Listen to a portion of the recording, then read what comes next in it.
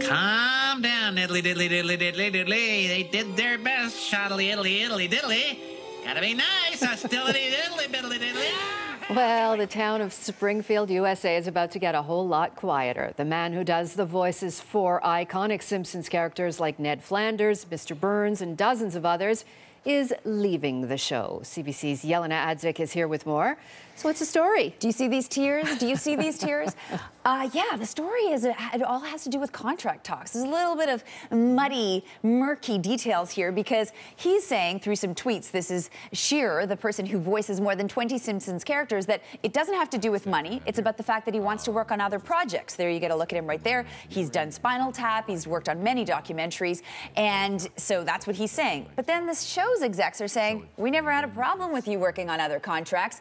And you were given the same offer that all the others were given and they took it. So, you know, they don't exactly agree with his assessment of the situation. As far as the characters themselves, yeah, he's been a powerhouse with so many different beloved characters. You're talking about the endlessly trip, chipper Christian neighbor Ned Flanders. You've got Bart's nemesis, that's Principal Skinner. And of course, Mr. Burns, he's one of my favorites. He's this very, you know, aged, older man that just really is very mean. He's got a lot of money and he's very mean. Let's just put it that way.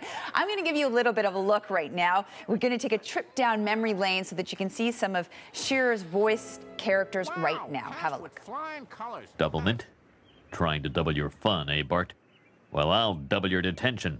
I'm Lenny. This is Carlin and Homer. Sir, were those real bullets? Yes. Was that a real gorilla? No. Would you say it's time for our viewers to crack each other's heads open and feast on the goo inside? Smithers, I'm beginning to think that Homer Simpson was not the brilliant tactician I thought he was. Uh, I can't go any further, Susan, without sharing you with you my absolute favorite Mr. Burns quote. Uh, that's the wealthy meanie. He said, "Oh, Smithers, I'd give it all up for just a little bit more." And it's just for me summarizes our whole Western way of life. It's it's really pretty telling that this this show. I mean, can it survive? Well, what happens to the characters? The show says it's going on, no problem. But what about the characters? Uh, yeah, they're saying that the characters, especially those beloved big ones that you know of, that they're going to be there and that they're going to find the finest voice talent to replace Shearer's voice. Now, if you think about it, in some ways that's very possible, right? Because they have some experts that are able to manipulate their voices. They probably could find somebody to do these voices and do them well. The catch here is that will the fans care and will they stick around? Because they've already proven that this past season, for the first time ever, we've seen a dip in ratings almost under 3 million. Now, that's still pretty sizable, you know, it's not bad, but for Simpsons, that's going pretty low. So people have been talking about the possible demise of the show for a very long time. So we've yet to see if the fans are really going to appreciate this and stick around. A lot of the tweets that they've been sending out are saying that this is so wrong and Shearer, we, we love you and we're sorry that this is happening to you it's it's an interesting one. Do you ever do watch?